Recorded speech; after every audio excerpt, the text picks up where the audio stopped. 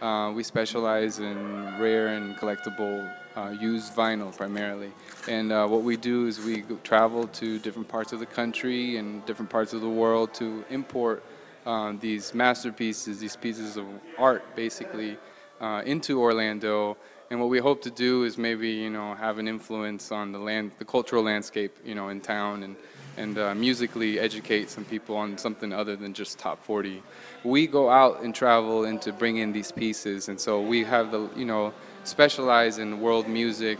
Um, we specialize in uh, a lot of rare jazz, and um, it's in perfect, pristine quality, and it's um, hard to get your hands on. You know, so it's the cream of the crop, if you will. So you're not really coming here to dig you're coming here more to like pick out pieces, you know, that, that you may want to take home with you. I think it, our customer is the same people that drink craft beer, is the same people that drink fine wine, is the same people that like fine dining. This is uh, part of a lifestyle, I think, if you will, of people that like, you know, the finer things. And definitely if you collect records, this would be considered, you know, some of the cream of the crop, if you will. I know I use that term a lot, but I think that's a perfect explanation for what, the way we designed our um, inventory and the way we laid out our, you know, selections.